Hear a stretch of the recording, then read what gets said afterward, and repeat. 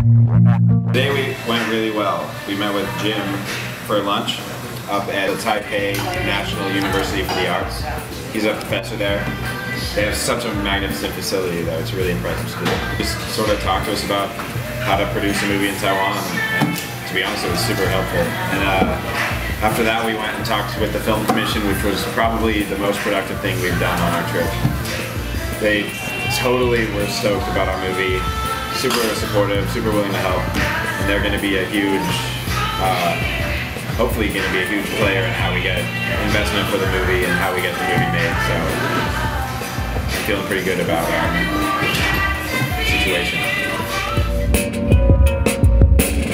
our um, situation.